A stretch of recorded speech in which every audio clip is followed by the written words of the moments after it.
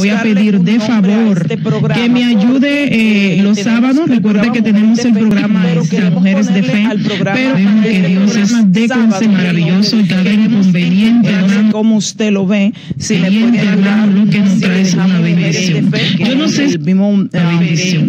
Yo no sé si usted que está ahí en, la, radio, le voy a pedir sábado, si de favor que me ayude. Tiene alguna idea, déjeme eh, otra idea de discúlpeme que estamos arreglando y buscando el mejor ángulo acá en lo que es el, Facebook Live. Estamos también a través de la radio, pero estamos buscando el mejor ángulo porque vamos a traer una enseñanza y estamos, hermano, de verdad que es un, por eso somos bien naturales, gracias al Señor por eso, nos gusta hacer las cosas bien, bien normales para que vean que no es algo planificado, no, no, no, nosotros no, no, sí tenemos, nos tratamos de organizar, bendito sea Dios, eh, para hacer los programas, pero eh, nos gusta la originalidad. Entonces, eh, Candy Penalosa, saludo que está por ahí en lo que es eh, Facebook Live.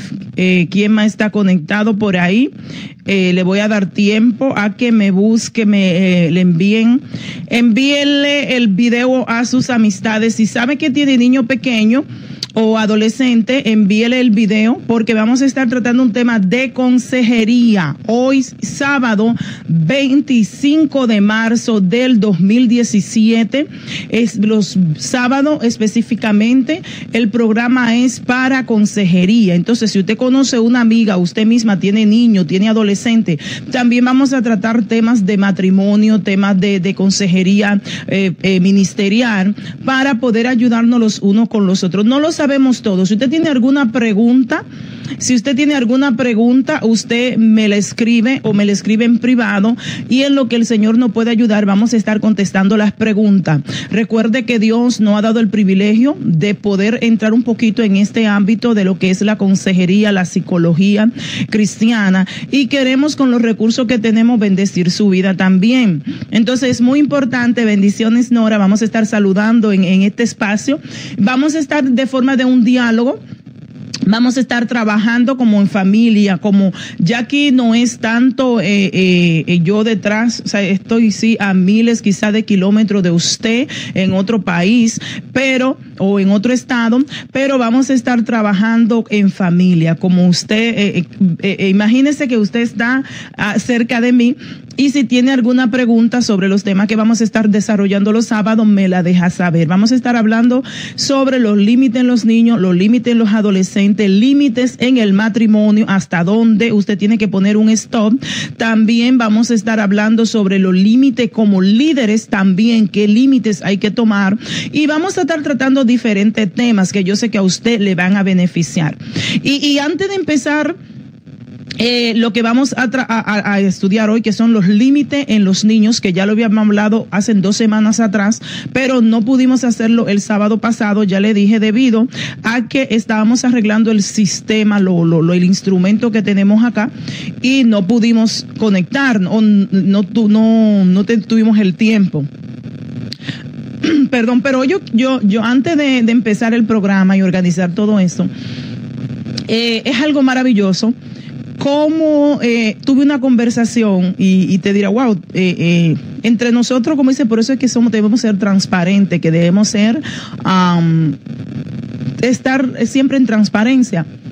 Y fue interesante esta conversación que, que, tuvimos mis hijas y yo hoy. Quiero compartirla con usted para que usted vea al punto dónde usted puede beneficiar a sus hijos y dónde usted puede trabajar en las áreas que tiene que trabajar.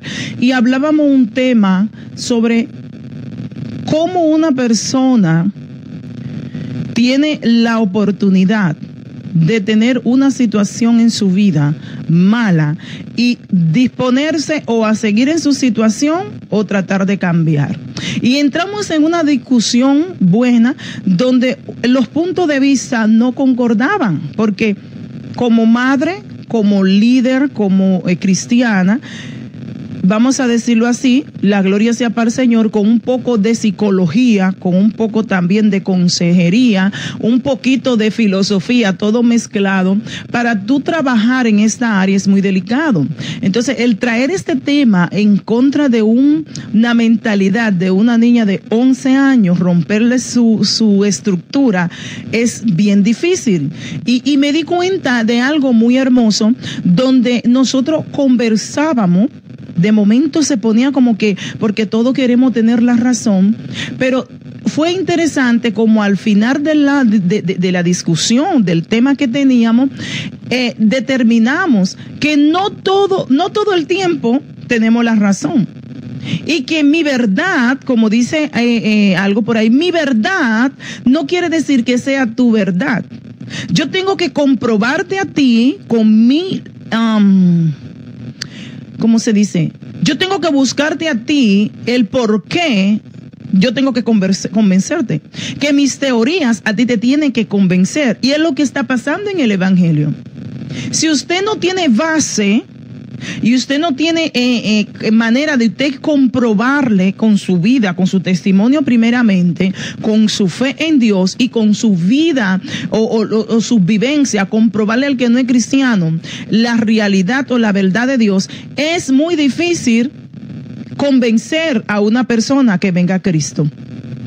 Entonces, es un punto, eh, wow, eh, hasta se lo digo así porque ya pronto vamos a tener un programa y quiero instar también a los padres que tienen hijos que le descubran las áreas fuertes y, por eso vamos a hablar de los límites de nuestros hijos, pero también a descubrir cuáles son sus virtudes, cuáles son el área donde podemos trabajar mejor en nuestros hijos, cuáles son las áreas donde ellos tienen dones, donde pueden expresarnos a nosotros y nosotros de esto concluir cuál es su verdadero corazón, su verdadera mentalidad. Entonces, es como, como me decía mi hija, tú me puedes convencer, ella dice un chispito, como dicen los puertorriqueños, pero no quiere decir que tú tu idea a mí me tiene que convencer hasta que tú no tengas la, la teoría o la lógica para, para traerme a mí lo que es verdad, lo que es veraz no se siente usted confrontado o defraudado cuando usted empieza un tema con sus hijos sin discusiones, vamos a decir, es una, discusión, pero una discusión sana, donde vamos a ver un tema muy atacado en nuestros niños y en nuestros jóvenes hoy en día. Cómo el ambiente te puede atraer a ti y, y dañarte o beneficiarte. Entonces, esto me despertó a mí rápido y le dije, wow, ¿por qué no vamos a hacer un programa tú y yo junta? 11 años, vamos a hacer un programa, es un diálogo, estamos buscando un tema, ayúdenme a buscar un tema, quiero que me ayuden ustedes que están ahí, Nora, Susana, Candy, la que están a través de, de la radio, ayúdenme a buscar un tema porque tenemos el programa de los sábados de hoy eh, eh, de consejería y también este programa, ella dice, hablando entre madres e hijas, algo así de una gran realidad. Entonces, búsqueme algo porque vamos a estar hablando, yo quiero que usted preste oído a los temas que vamos a estar trayendo. Eh, como niña al fin, hay que irla preparando y vamos a, a buscar base. Y usted va, vamos a aprender nosotros también de nuestros hijos. ¿Qué piensan nuestros hijos del hoy? ¿Qué piensan nuestros hijos de lo que estamos viviendo? ¿Qué piensan nuestros hijos de Cristo, de la vida en Cristo? Y fue algo impactante que ella me dijo a mí. Tú me estás hablando a base de tus propias experiencias. Pero ¿cómo yo te hablo de mi punto de vista si yo no tengo experiencia? Mire eso. Mi, mi experiencia a ella, ella le escucha y quizá la puedo convencer un poquito, pero ella tiene que tener sus propias experiencias para poder ser convencido. Y eso mismo sucede en Cristo Jesús. Nuestros hijos tenemos que orar para que tengan experiencia, para que ellos puedan hablar de un Cristo que vive, pero a través de sus propias experiencias. Y que Dios se les revela a los niños, se les revela porque se les reveló a Samuel. Así que vamos a orar para que nuestros hijos tengan sus propias experiencias con Dios y puedan expresarla no se, no se atormente cuando de momento sus hijos le traigan temas difíciles y quizás dice, wow, busque, busque recursos, perdón, pregunte quizás no tenga la habilidad de prepararse o, o sí puede, quizás no, no sacamos el tiempo para prepararnos en una área, quizás terminamos los estudios y decimos, ya yo no voy a estudiar más. Pero mire, uno, una de las clases o una de las de las áreas donde como pueblo de Dios, como ministro, necesitamos, yo creo que en este tiempo, es buscar ayuda en lo psicológico, pero cristiano, prepararse en esa área. ¿Por qué? Porque la poca dice que la poca, el poco conocimiento te aleja de Dios y el mucho también, o el, el, te puede alejar o acercar a Dios. Entonces, la mucha filosofía te daña, pero una, un punto de vista filosófico a través de la Biblia te puede ayudar y sacarte de muchas estructuras que hoy en día estamos viendo en la familia, en las iglesias, debido a que hay gente que no se han preparado, que no han buscado información. Ok, el Espíritu Santo te revela, el Espíritu Santo te da, pero hay áreas donde físicamente hay un presente que lo estamos viviendo. Tú a un, a un niño no le puedes hablar con tu mentalidad de adulto como cristiano, porque ellos necesitan tener experiencia con Dios. Tú tienes que tener base y tienes que volver a la edad de ellos, meterte con una ideología que tú lo puedas convencer. Mira lo que yo aprendí. Hoy aprendí de mi hija. Hoy aprendí bastante de mis hijas. Hoy aprendí que tú no todo, no siempre tienes la razón, no todo te lo sabe y no siempre puede convencer o manipular a tus hijos. Ellos mismos tienen su manera de pensar, tienen su manera de, reaccionar. Pero hoy el tema es sobre los límites. Vamos a seguir con los límites porque sí quiero tratar este tema, porque sé que ahí hay personas, ya le dije que si usted tiene pregunta, escríbamela, porque vamos a estar hablando sobre los límites en los niños y cómo ayudar a nuestros hijos y qué son los límites. Vamos a dar un repasito. Todos los días se oye decir que es necesario poner límite a los hijos para los padres. Muchas veces resulta un poco difícil cuando decir ya basta, hasta aquí, este, eh, eh, eh, ya no más a veces nos preguntamos por qué son tan importantes que se le, se le, por qué son tan importantes y en vez de que se le vean beneficio en la vida, si queremos que nuestros hijos sean felices. ¿Por qué son necesarios los límites? Porque queremos que nuestros hijos sean felices, que sean completos, que sean, eh, perdón, que sean mm, personas sanas, que sean personas educadas, que sean personas responsables. Bendito sea Cristo. Hay que ayudarlo a tomar decisiones correctas, aunque siempre ellos van a tomar sus propias decisiones, pero cuando tú le das la guianza y ellos siempre van a pensar en lo que tú le dijiste. El deseo de nosotros como padres, ¿cuál es? Educar a nuestros hijos de una manera que sean capaces de ellos mismos poder desarrollar una vida plena, aún en el ámbito secular cuando ellos sean adultos. Para lograr esto es indispensable ponerle un hasta aquí. Perdóneme un poquito, pero es que tengo un poco como de alergia eh, eh, y me pica bastante la nariz. Los que están ahí en la radio no me están viendo, pero los que están en Facebook sí. Eh, capaces de hacerse cargo de sí mismo y de su vida cuando sean adultos. Para lograr esto es indispensable ponerle límite para que ellos aprendan a cuidarse, a valorarse, a quererse, respetarse a sí mismo y respetar a los demás y al mundo que lo está rodeando. Los límites y la anatomía son inseparables en la vida. Recuerde, los límites y la autonomía son inseparables en la vida. ¿Qué es límite? ¿Qué es límite? Porque vamos a estar hablando de eso. Significa restricción, separación física o simbólica. Es un hasta aquí. Es una especie de barrera protectora que toda persona debe tener para estar seguro. No hacerse daño ni permitir que otros se lo hagan. Es decir, cuando tú pones límites y tú enseñas a tus hijos a tener límite, no le va a permitir a las, a las demás personas hacerle daño, porque saben diferenciar entre lo bueno y lo malo para su vida. Los límites pueden ser externos o internos. Los externos son impuestos por otro padre, amigos, el colegio, la ley. Los internos son los que se desarrollan dentro de sí mismo y ayudan a tomar decisiones. Lo que hago o dejo de hacer, lo que permito y lo que no acepto lo que es correcto y lo que es incorrecto. ¿Para qué sirven los límites en los niños? Estamos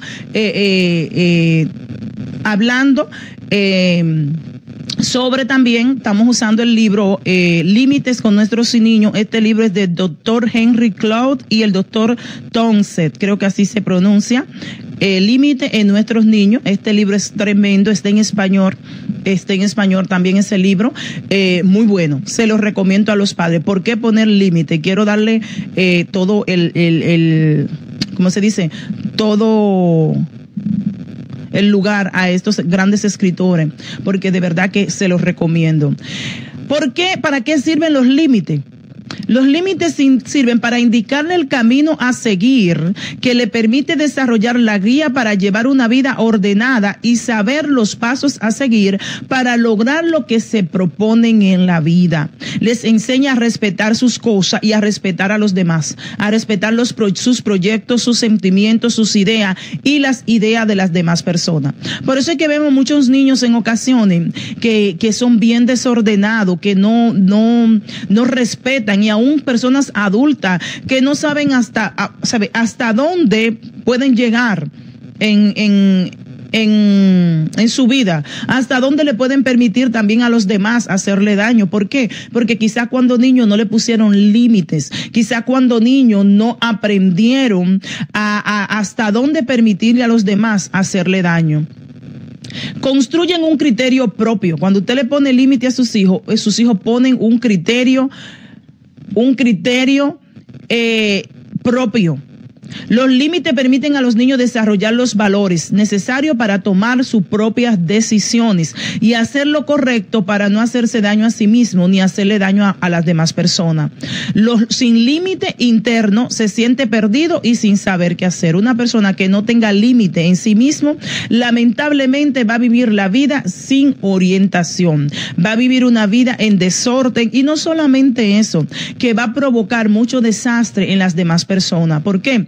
Porque cuando un niño va creciendo, con, es, lo mismo que decimos nosotros como hispanos, eh, educamos a nuestros hijos y le ponemos eh, reglas los límites son como las reglas que nosotros le ponemos en los hogares. Te acuestas a tal hora, te levantas a tal hora, te tienes que hacer tus, tu, eh, deberes en la escuela, tus asignaciones, eh, tienes que limpiar tu cuarto. Hay límites que tú mismo te lo pones, como te tienes que asear tu cuerpo, te tiene que, van a poner, hay gente que, que tienen reglas. A tal hora yo me tengo que cepillar los dientes en la mañana tres veces al día. Esas son reglas que nosotros mismos nos imponemos. Pero entonces, cuando nos vamos desarrollando, como cuando niños, cuando nos fuimos desarrollando, si nuestros padres desde pequeños nos vamos a poner algo tan sencillo como el cepillarse los dientes. Si tú no acostumbras a un niño desde pequeño que antes de dormir se tiene que lavarse los dientes, lamentablemente va a crecer con esa mala costumbre. Y, a la hora de él le va a hacer daño. ¿Pero por qué? Porque no se le acostumbró. Entonces, todo esto debe ir forjándose desde niño. Yo creo que desde que nace un bebé, hay gente que dice, no, pero es un inocente, sí, pero desde que un niño nace, usted puede ponerle límites. He visto muchos padres, y, y perdóneme si usted tiene un niño pequeñito, de dos años, un año, que el niño juega con ello y hace lo que quiere dentro del hogar. Ay, porque es un bebé. Mire, eh, una de las cosas que yo aprendí, que, y creo que lo había, lo había dicho antes, que hay niños pequeñitos, antes del año, que manipulan a los padres con su llanto.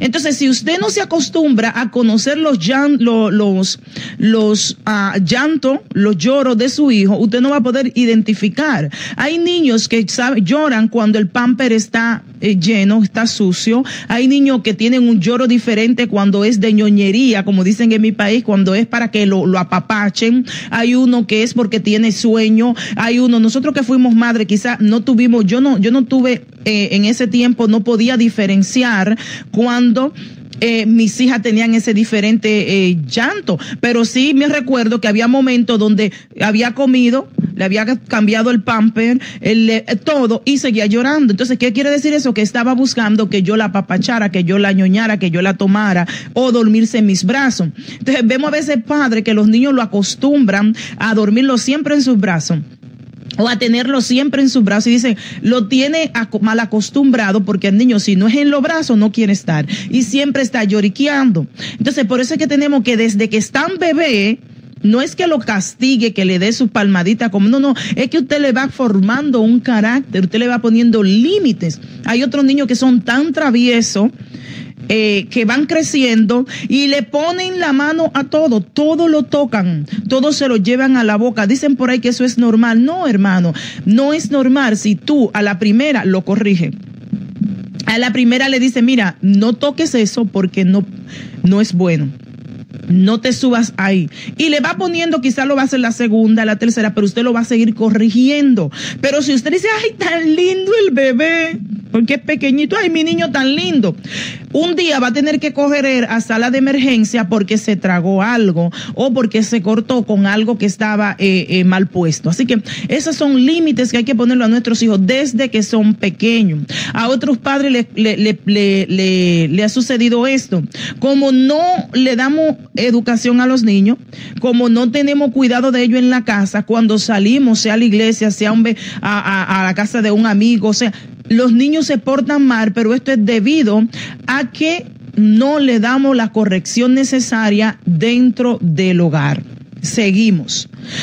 ¿Qué hacen los límites? Le dan, le dan capacidad le desarrollan seguridad, desarrollar la, la capacidad de poner límite, construyen el niño la confianza en sí mismo, la certeza de que pueden cuidarse, estar solo y enfrentar situaciones imprevistas y tener buenas relaciones con los demás. Aunque los niños protesten por los límites con su comportamiento rebelde, arriesgado o desafiante, buscan que los pongamos cuando los padres no ponen límite, los niños se sienten que no les importa lo que ellos hagan, lo que puede muchas veces pasar. A veces nuestros hijos por llamar a nuestra atención, porque no le hacemos caso, porque no le ponemos... Eh, no le ponemos stop, los niños lo que se sienten es abandonado lamentablemente. ¿Qué hacen también los límites? Decimos, dijimos que uno, indican el camino a seguir. Dos, construyen un criterio propio en los niños. Tres, le dan seguridad. Y cuatro, eh, protegerlo. Los límites protegen a nuestros hijos. Los límites perseveran a los niños de los miedos reales, les ayudan a cuidar y proteger su cuerpo, sus sentimientos, sus afectos, sus ideas, sus valores, sus proyectos, sus sueños y su entorno. Como los niños no están en capacidad de prever todos los riesgos, los padres son los encargados, oiga eso, somos los encargados de poner los límites que necesitan para estar protegidos. A medida que crecen, irán aprendiendo a hacerlo solo. ¿Qué hacen los límites? Protegen. Así que vaya notando eso. ¿Qué hacen? Le muestran que puede hacer y que no. Los límites le muestran a nuestros hijos lo que ellos pueden hacer y lo que no pueden hacer. Los niños saben cómo comportarse en cada situación perdón, los límites permiten a los niños saber cómo comportarse en cada situación, que hay un momento, un lugar para cada cosa. Se dan cuenta de lo que está preparado para hacer y lo que no, y descubren sus habilidades y sus debilidades cuando usted pone límite. Autocontrolarse y aceptar que no se puede. Eso es otra cosa de lo que hacen los límites. Los límites enseñan a los niños a manejar y expresar sus emociones sin lastimarse o lastimar a otro. Les ayudan a, comprender que no pueden hacer todo lo que quieren y le gusta, que hay cosas que aunque quieran no pueden hacer y otras que deben hacer aunque no le gusten. Un ejemplo, a los niños cuando están pequeños no les gusta muchas veces asearse, a otros no les gusta arreglar la habitación, a otros no les gusta a veces cuando van creciendo le asignamos eh, botar eh, la basura. Eh, levantarse en la mañana para ir para la escuela. A muchos no nos gustaba tampoco la madrugada. Entonces, pero saben que sí lo necesitan. Hay cosas que necesitan para ellos poder tener una vida mejor, desarrollarte, desarrollarse como seres humanos. ¿Qué hacen también los límites? Aprenden a controlarse y a aceptar, como dije, lo que no se puede. Los límites enseñan al niño a manejar y expresar sus emociones sin lastimarse. Perdón, el próximo era aprender aprender a ser responsable. Los límites muestran a los niños que todo comportamiento tiene efecto positivo o negativo, que debe aceptar y asumir, las, eh, asumir sus errores. Les enseña a hacerse cargo de lo que hace, dice, piensa, decide y con el tiempo a prever las consecuencias de sus decisiones antes de tomarla. Para que los límites permitan a los niños desarrollar capacidad de cuidarse y decidir solo, es necesario que lo hayan grabado en su interior. Es decir, ellos tienen, vamos a decir así, un chip y usted tiene que irle entrando información para que ellos en su tiempo puedan tomar esa información y usarla. Estoy hablando eh, eh, eh, en un lenguaje que me puedan entender. Ellos tienen que ser cuando van creciendo, guiarse. Ellos después que salen de la casa, que empiezan a ir a la escuela, al colegio, ellos tienen que tomar decisiones, tienen que tomar riesgo. Muchas veces eh, estamos viendo lo que está sucediendo hoy en la sociedad sobre el bullying en contra de nuestros hijos. Ellos dependen de lo que usted le enseñó a poder defenderse, tener una autoestima eh, eh, buena para poder contrarrestar lo que los demás le hacen o le dicen. Si usted no le pone límites, si usted no lo enseña a que ellos, quienes son ellos, lamentablemente van a salir muy lastimados y por eso estamos viendo tanto eh, eh, suicidio, eh, perdón, sí, suicidio en los niños y también estamos viendo tanto caos en las escuelas porque los niños al verse acaparados, al verse enfrentados y quizás no tener las herramientas necesarias para defenderse, lo que tienden entonces a la violencia. Al igual que esos niños también que provocan bullying, es a causa de que no le enseñaron a respetar a sus compañeros, a respetar quizás hay niños que tienen defectos físicos y, problemas mentales, pero sus padres no le han enseñado el valor que tiene el ser humano o por qué esas personas pueden estar así o lo que sufren. Entonces, ¿qué hacen? No respetan porque no le han enseñado a respetar. Por eso es que si un niño de momento pequeño, usted la primera vez ve que le pasa por el lado una persona con un problema mental, un autista, un, problema mental, vamos a decirlo así, una persona incapacitada y empieza a burlarse y usted no lo corrija la primera, téngalo por seguro que ese niño va a seguir haciéndolo va a burlarse. ¿Por qué? Porque usted lo vio y no tomó la decisión de corregirlo. Es igual que hay padres que el niño, creo que lo había repetido la otra vez, van a una tienda y toman algo de la tienda, eh, eh, un juego o algo, y se lo llevan. Eso es robar. Pero llegan a la casa, mami, mire, tú le ves el juego, pero no toman las precauciones. ¿Y qué hace el niño? Eso fue la primera vez, tomó un juego. Después empieza a robar y cuando llega adulto ya no solamente se va a robar algo barato, sino que puede eh, robar en un banco, robar hasta matar por conseguir lo que quieren sin tener que pagarlo. Entonces, esas cosas, esos detalles hay que tenerlos muy en cuenta. Para que los niños entiendan y acepten los límites, esto debe ser, uno, debemos ser claros para que nuestros hijos puedan entender que hay límites. Hay que ser claro al hablarle y al, y al decirle los límites. Decirle al niño en forma clara, concreta y sencilla lo que se espera que ellos hagan. O hay que hablarle claro. ¿Por qué? ¿Para qué? Tienes que hacerlo. Es importante explicarle la razón de la seguridad o protección y la consecuencia de si no cumplen lo que le estamos diciendo. ¿Qué te va a suceder si tú no cumples con lo que te estoy hablando? Puede tener diferencia con tu hermano, pero no se te puede gritar ni pegar que podría hacerte daño.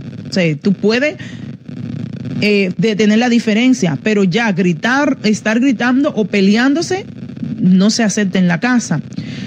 Si lo hacen, tendrán que separarse mientras se calman y puede hablar para solucionar las dificultades. Yo diría algo más fuerte. Si pelean y discuten o llegan a los, a los golpes, saben que va a haber un castigo, va a haber una disciplina, perdón, no castigo, disciplina. Puede ir a su, a su cuarto para calmarte o controlar y hablar ahora. Esa es una de, de, las reglas que se podría poner. Otro dice, debemos ser consistentes. La consistencia se necesita mucho a la hora de poner límite. No se puede poner unas veces sí y otras no. Los padres entran en contradicciones y los niños aprovechan estas situaciones para lograr lo que quieren, evitar las consecuencias. Lo que, lo que hicieron. Un ejemplo, cuando hay un matrimonio en conflicto, muchas veces hay una competencia de intereses propios ¿Qué hacen los padres para ganar ventaja o tal vez y que para ganarse al niño? Lo que hacen es que si el padre le dice una cosa, la madre le dice otra. La madre le pone una disciplina, pero el padre para complacer al niño lo que hace es que viola esa regla y el niño qué hace se confunde. Entonces no sabe cuál de los dos tiene la razón porque entra entonces entran en un conflicto.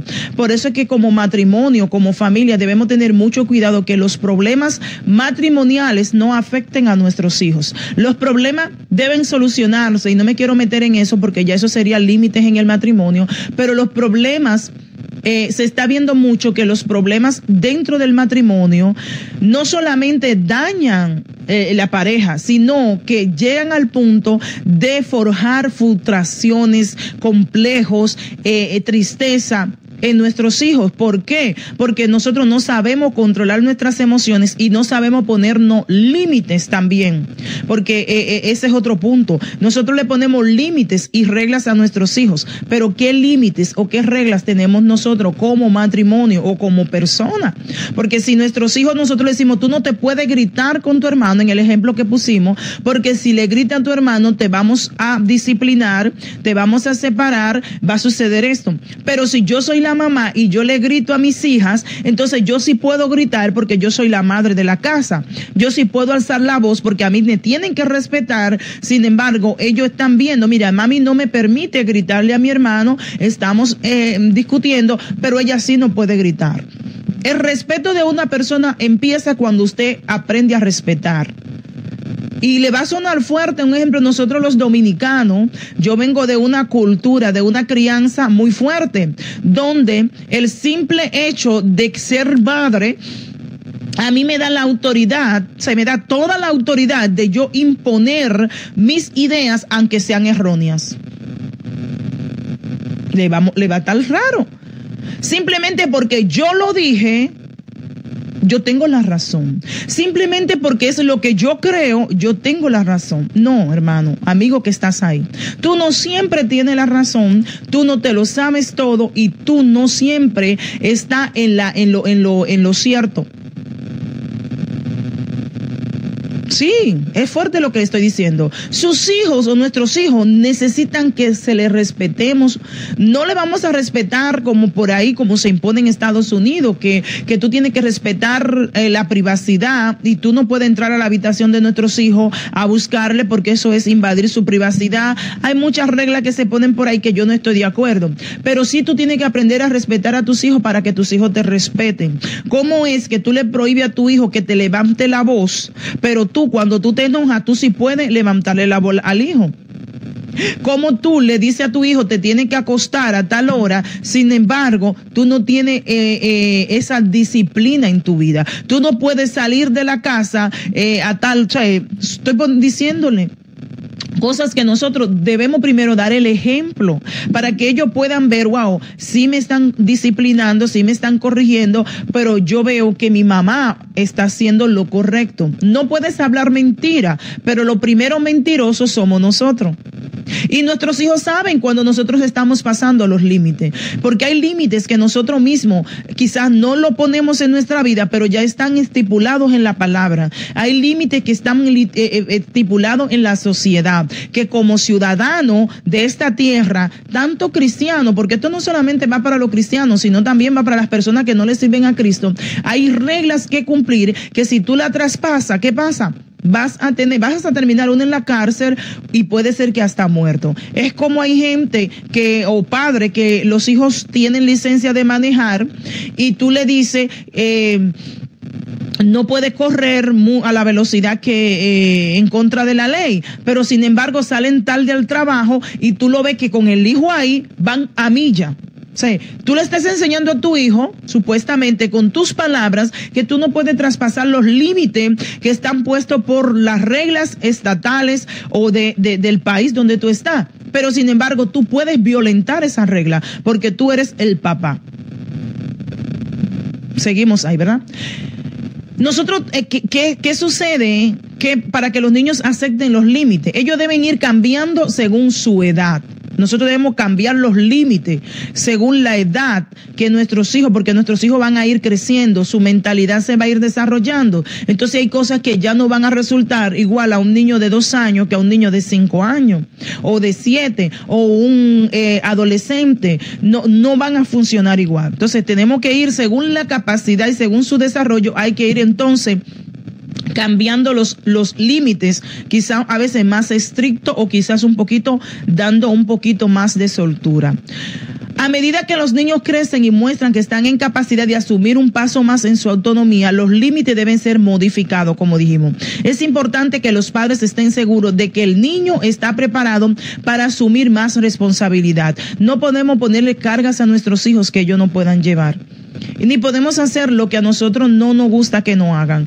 Eh, eh, sin salirme del tema, ayer vi un, un video y me emocionó, me, me, me, gustó mucho, porque este niño de apenas algunos siete años, seis años, eh, iba al río y de momento tomó un pez y le puso una piedra para que y tiró el pez al agua. Después fue y tomó un sapo y le puso una piedra y el y tiró el pez al agua, el pez no se podía mover, usted sabe. Tomó una serpiente, no sé cómo lo hizo y también. El papá lo estaba observando o el maestro lo estaba observando, yo no sé si usted lo vio, y el niño se acostó, el papá no le dijo nada, pero él cogió una piedra bien grande porque el niño ya era más grande y se la puso en la espalda y lo amarró. Cuando el niño despertó, dijo, wow, ¿qué es lo que tengo detrás? Que no puedo caminar. Y le dijo, ¿te acuerdas que tú le pusiste eh, eh, una piedra a cada animal? Sí, lo que a ti no te gusta que te haga, no se lo haga a los demás.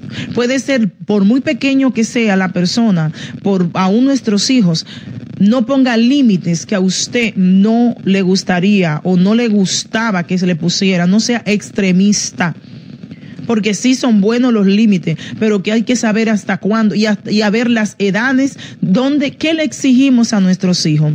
Hay padres que le exigen a sus hijos que tengan una nota eh, perfecta, pero nunca tuvieron esa nota. Entonces, si usted no fue bueno en matemática, usted sabe que no fue bueno, usted puede ayudar a su hijo y decirle, motivarlo, pero no le exija que tenga una A o una A plus cuando usted sabe que usted, para usted, y no sé quiénes de los que están ahí, y si para alguien eh, la matemática es buena, me deja saber, porque para mí la matemática es, eh, eh, siempre fue bien difícil.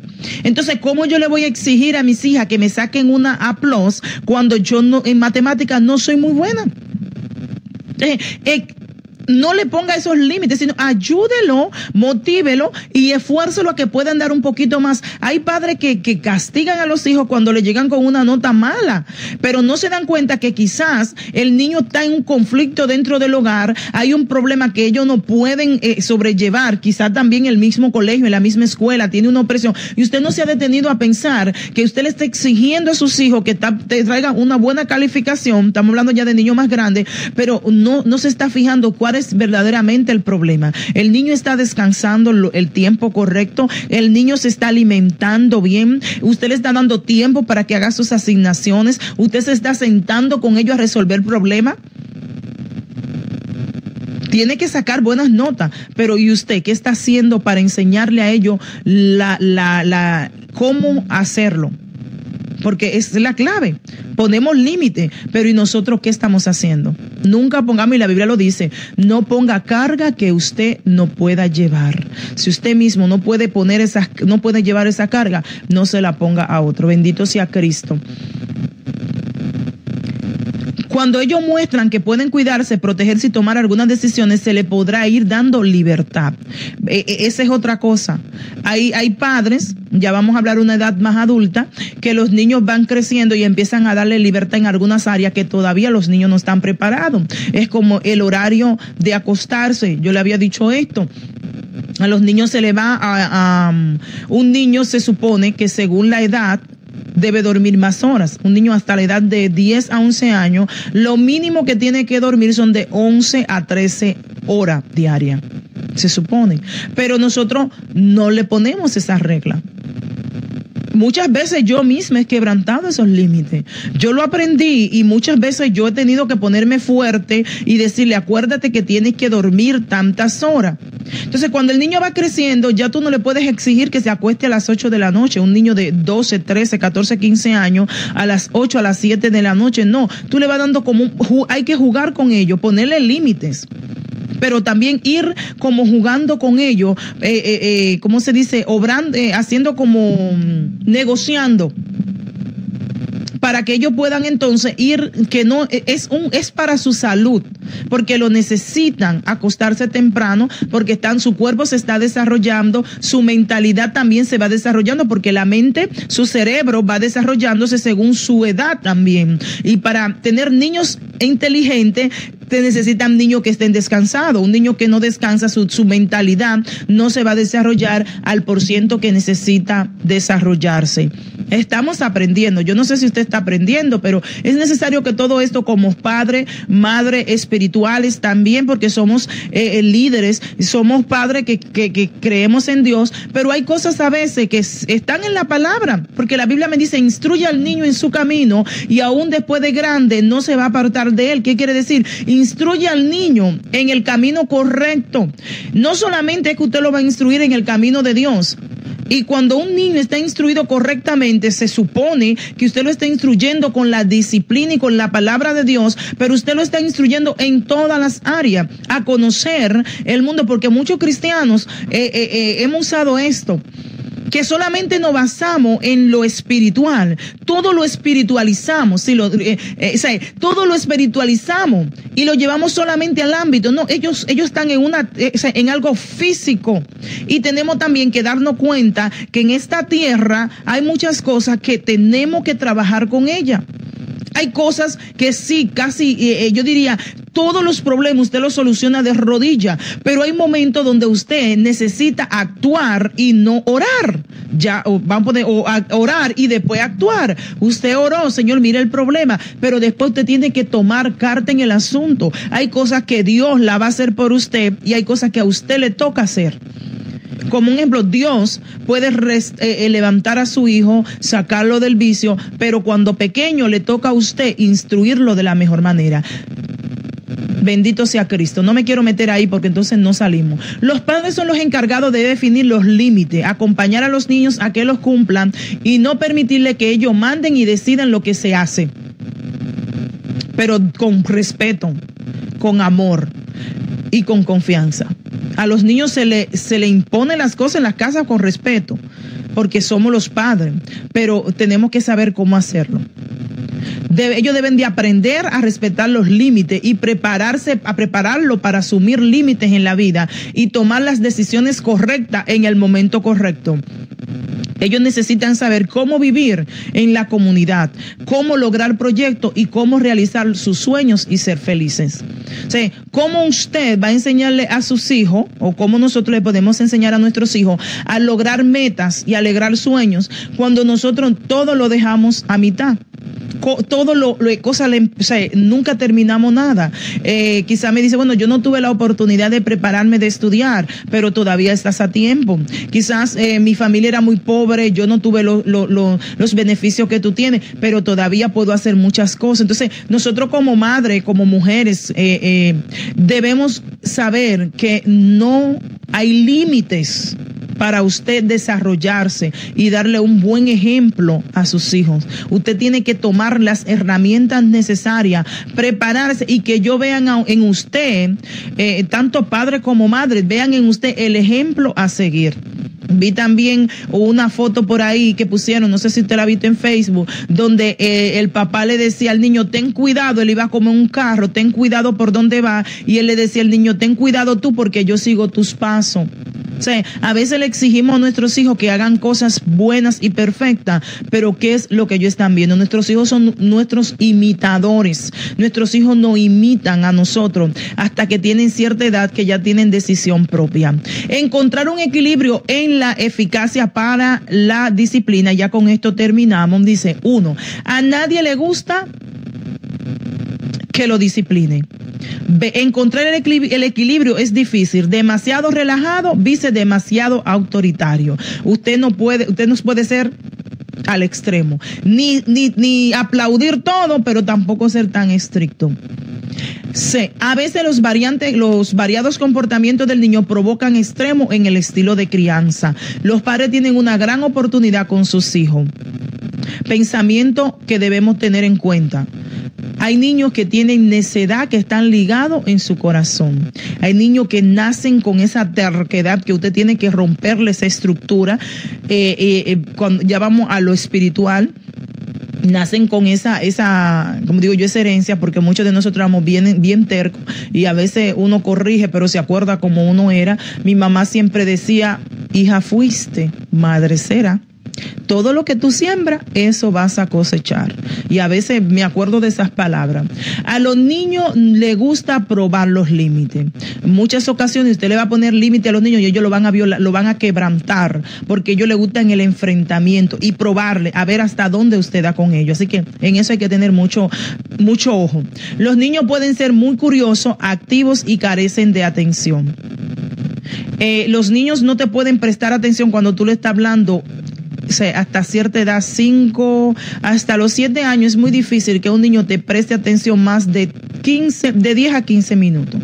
Por eso es que es bueno enseñarle a los niños a esa edad con dibujos animados, buscarle la manera de que ellos, o sea, sea divertido. Porque ellos, cuando tú le estás hablando y te, eh, para ellos enfocarse y para tomar lo que tú le estás diciendo, tú no te puedes tardar más de 10 o 15 minutos hablándole. Porque ellos se deconcentran fácilmente.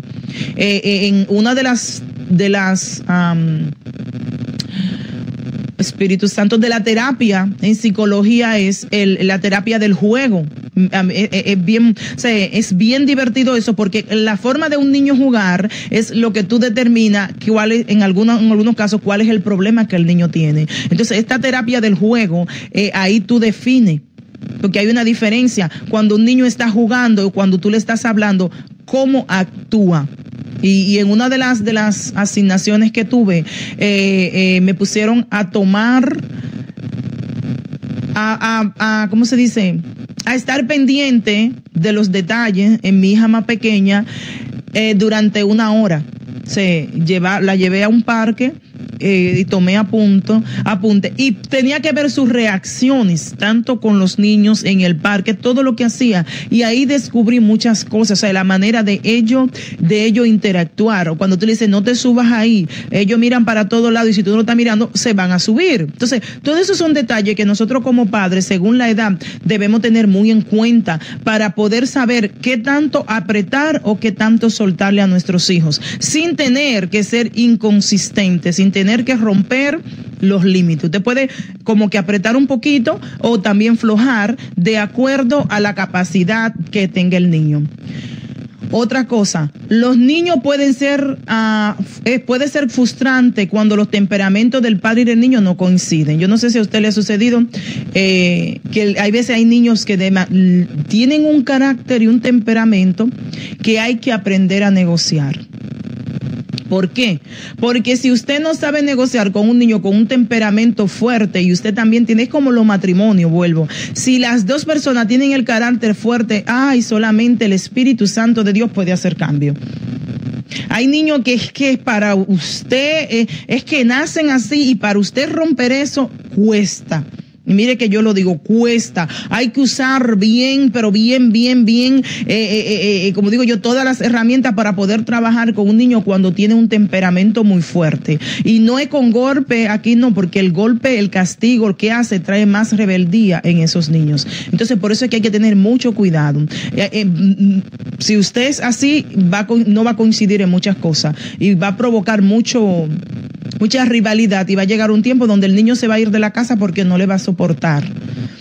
Otra de las cosas que sucede es que el estrés de los padres es demasiado grande. Por ejemplo, hay, hay eh, eh, padres que tienen mucho trabajo o llegan tarde del trabajo o están siempre malhumorados por algo que les sucede, eh, problemas en la iglesia, los líderes que a veces están tan agobiados, tienen tanto, tanta responsabilidad en la iglesia que se olvidan un poquito de los hijos y esto le provoca estrés a ellos y este estrés entonces van y lo llevan a la casa y cuando usted está estresado, hermano, todo le va a molestar, todo nos molesta.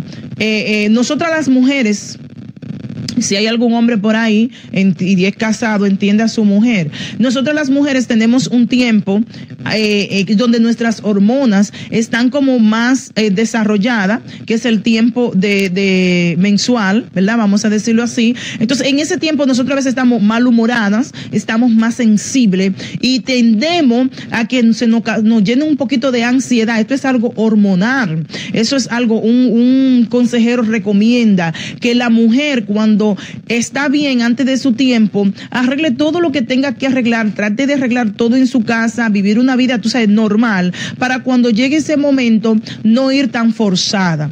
Porque ya que es una incomodidad, imagínese también que usted tenga que hacer todo lo de la casa, que todo lo tenga atrasado, le va a provocar más estrés y más ansiedad. Entonces, en ese periodo, la mujer tendemos a ser más gritona. Yo no sé si a usted le pasa. Yo he tratado de controlar eso. Yo lo que hago es que eh, a veces me pongo muy sentimental. Entonces, con nuestros hijos, ellos van a, saber que algo está pasando y quizás no, no van a entender, como los esposos también, que a, a veces, muchas veces, no entienden esa área de la mujer o ese tiempo. Otra de las cosas es eh, eh, cuando hay problemas económicos en la casa, esto provoca en los padres un gran estrés, una gran desorientación. Entonces esos problemas los se reflejan en los niños, porque no hay pagar, no hay para pagar un bill, para pagar una cuenta. El hijo no tiene la culpa. Entonces, yo no puedo descargar toda mi situación en mi hijo y empezar a gritarle. Ojo con esto. Cada niño merece una persona que está loca por ella o por él. Es decir, cada niño merece ser amado. Cada niño, y, y le voy a decir otra cosa, nuestros hijos no pidieron venir al mundo. Hay padres que enfatizan mucho en decirle al niño lo que yo hice por ti, lo que, o tu hijo no te pidió venir al mundo. Quizás tú no estabas capacitada para traer ese niño al mundo, pero Dios te tomó a ti y tomó, te dio el privilegio de ser administradora o ser administrador de tus hijos. Mira qué lindo. Dios se tomó el tiempo para que tú criaras ese niño bajo, si no eres cristiano, eh, eh, eh, bajo reglas e indicaciones, te dio ese privilegio de guiar ese niño. Entonces, nuestros hijos no nos pidieron, no nos exigieron. Entonces, ¿por qué ponerle responsabilidad de, de, de, recalcarle todos los días lo que yo hice por ti, lo que yo hago por ti, lo que yo he vivido por ti? Ellos no son responsables. Entonces, ¿qué ocasiona esto? Que el niño se sienta como eh, que tiene una deuda y va a buscar la manera de cómo pagar esa deuda. Entonces, no le pongamos esa carga a nuestros hijos. Eh, otra cosa, demostrarle que lo amamos a pesar de sus debilidades y sus errores. Ellos necesitan, ellos merecen ser amados, ser atendidos, ser respetados, que se le valore. Eh, eh, en una predicación dijo una cosa que admiro de Dios es en Apocalipsis cuando le habla a las, iglesias es que primero le, menciona todos sus atributos, todas sus, cosas buenas y entonces después lo corrige. Nosotros como padres eso muchas veces no lo utilizamos. Es rara la vez que empezamos a ver las cosas buenas que hacen nuestros hijos, porque siempre hacemos énfasis y, eh, para, porque tendemos a hacer eso. Siempre he dicho que usted hace 99.9 cosas buenas, pero hace una mala y por esa mala lo entierran vivo.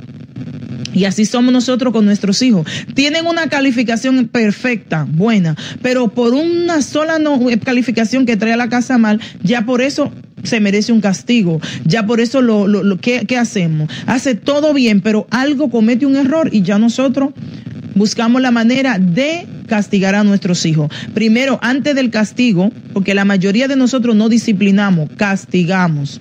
Yo aprendí a, ser, a disciplinar como Dios nos disciplina. Dios dice que al hijo que ama lo corrige, lo disciplina. Usted puede buscar, me voy a dar estos versos, donde se habla de la corrección de los hijos. Proverbio 13, 24 dice, el que no aplica la disciplina a su hijo, el que lo ama lo corrige a tiempo. El que no aplique, el, dice aquí, el castigo aborrece a su hijo, perdón. El que lo ama lo corrige a tiempo. El que no aplica disciplina aborrece a su hijo. El que lo ama lo corrige a tiempo.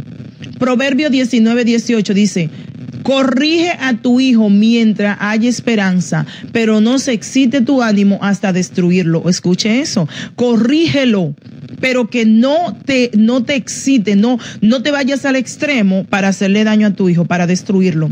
Proverbio 23, 13 al 14. No rehúse corregir al muchacho porque si lo castiga con vara, no morirá. Castígalo con la vara y librará su alma del Seol. Esa es la versión Reina Valera, 1960. En otras versiones no habla del castigo, sino habla de disciplina. Proverbio 29, 15. La vara y la corrección dan sabiduría, pero el muchacho consentido avergüenza a su madre. Esa es la perfecta. Cuando usted corrige, eso le va a traer sabiduría al niño. Y cómo se comporta el niño, una cosa que le voy a decir, cómo se comporta su niño fuera de, de la casa, demuestra qué tanto usted, qué tanta disciplina usted le da. Qué tan buen padre es usted. Proverbio 29, 17. Corrige a tu hijo y te dará descanso y dará alegría a tu alma. Corrígelo. y te va a dar descanso, te va a dar alegría. Lo mejor es tener un hijo, wow, bien portado un niño que, que, tú a confianza sabe que, que, te, que puede salir de tu casa y sabe que hay reglas, que hay límites cuando van creciendo. Tú dices a tal hora, hey, va a estar aquí en la casa después de la primera vez, por media hora, ya sabe que va a durar un mes sin salir. Ya van, van a ir aprendiendo a que hay reglas en la casa. Y si necesitan estos versos, me dejan saber para después enviárselo y, y, lo puedan estudiar en su casa. La disciplina no se trata simplemente de dar nargadas, dice acá, ni dar golpe. La disciplina se trata de corrección preguntas que debemos tener en cuenta. ¿Pueden crecer nuestros hijos para vivir que, para que vivan dentro de los límites, interactuando con los demás y tener una relación con Dios? Las disciplinas, sí. Los límites hacen que nuestros hijos puedan vivir una vida plena y puedan interactuar con las demás personas y también llegar a tener una relación con Dios. Porque si nosotros no amamos y respetamos a lo que está aquí en la tierra, a lo que están a nuestro alrededor, mucho menos vamos a aprender a respetar a nuestros hijos. Mucho menos vamos a tener reverencia a Dios si no tenemos cuidado con las cosas de aquí de la tierra. Entonces, por eso es que es necesario enseñarle el límite a nuestros hijos como hombres y mujeres de Dios, para que entonces no caiga en una rebeldía en contra de Dios. Segunda pregunta, que los padres se, se pregunten si su método de disciplina mueven a sus hijos más cerca o más lejos de ellos y de Dios. Pregúntese eso. La disciplina que usted le está poniendo a sus hijos, los límites, ¿qué hace? ¿Lo acerca a usted o lo está alejando? ¿Lo está acercando a Dios o lo está alejando de Dios? ¿Cómo ven ellos la forma de usted disciplinarlo en cuanto a lo espiritual? porque hay muchos padres que son demasiado estrictos a la hora de lo que tiene que ver con la iglesia. Y eso va a ser otro punto que vamos a tratar más adelante, porque he visto un descontrol muy fuerte en los padres cristianos con sus hijos. A veces el castigo físico no tiene un propósito. No funciona bien con los niños porque crecen rebeldía. A menudo una mirada de mamá o papá es suficiente. Cuando usted le da respeto a sus hijos, cuando usted lo enseña nada más con mirarlo, a mí me miraban y yo salía corriendo para el cuarto. A veces no, no va, no va a lo mismo que usted usó con un hijo no le va a dar el resultado con el otro porque son diferentes, son únicos. Usted quizá eh, usó una manera de corregir a un niño y le dio resultado, pero con el otro va a tener que ser un poquito más fuerte, fuerte o va a tener que aflojar un poquito. Algunos niños no se benefician de la disciplina firme. Enseñar a los niños a entender, a entender los límites y las consecuencias. Esto es muy importante. Enseñarle el por qué y para qué. Hay un lugar para la disciplina, pero si exagerado se dañará el alma del niño cuando se convierte ya en maltrato. Las normas sin relación es combustible para una rebelión, como le dije. Las normas junto con una relación te lleva a respeto. ¿Por qué los niños hacen las cosas que hacen? Estamos terminando. Irresponsabilidad durante la infancia es normal. Por ejemplo, un niño de 8 años que deja su bicicleta en la lluvia eso es algo normal, pero hay que corregirlo. No es lo mismo que la obediencia voluntaria, por ejemplo, se niega el niño a recoger la bicicleta. Siempre he dicho que la obediencia tardía es desobediencia. A veces nosotros decimos, niño, mira, recoger cuarto, recoge la habitación, recoge la habitación, la recogen, pero eso es desobediencia porque lo hicieron cuando ellos quisieron. Vete a dormir y tú duras una hora, vete a dormir. Entonces ahí hay que poner límites. Si hoy no te acuestas a la hora que tienes que acostarte, mañana te voy a restar una hora y te vas a ir a acostar más temprano. Si no recoges tu juguete, lo voy a echar en una caja y no lo vas a usar más, porque si no sabes recogerlo, pero tampoco lo vas a regar. Disciplinar erróneamente romperá el corazón del niño. Por ejemplo, el niño entró por otra puerta y se le olvidó la bicicleta.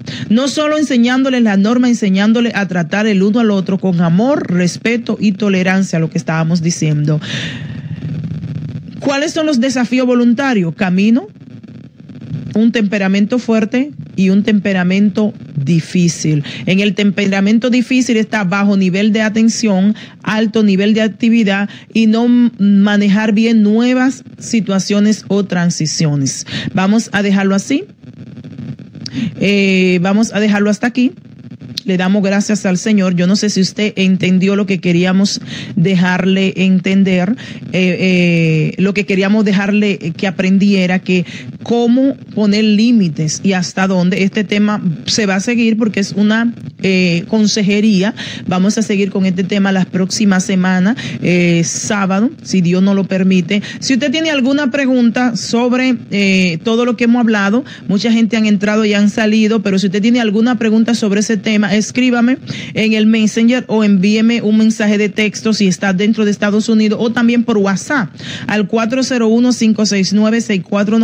401-569-6491 y ahí podemos ayudar un poquito más. Si usted tiene un hijo rebelde y usted no sabe cómo, no lo sabemos todo, pero con la ayuda del Espíritu Santo y con la ayuda de Dios y el conocimiento adquirido, podemos también hacer una buena, como dice, una buena armonía y ayudar mejor a nuestros hijos. nuestros hijos necesitan mucho de nosotros.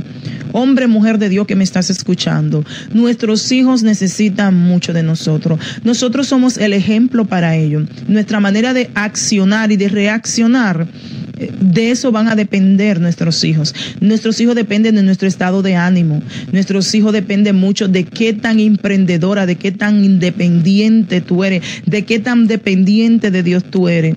O sea, nosotros somos la guía cada día para nuestros hijos. Así que vamos a orar porque queremos que el Señor nos dé la sabiduría. Padre, te damos gracias por este precioso momento. Sabemos que tu palabra dice, Dios mío, que tu pueblo perece porque le faltó conocimiento. Señor, te pedimos en esta hora que padre, cada padre, cada madre que me ha estado escuchando, que tú le abras su entendimiento, que tú le hable, Dios mío, que tú le des sabiduría para poder guiar a sus hijos. Aquellos que tienen hijos todavía pequeños, Señor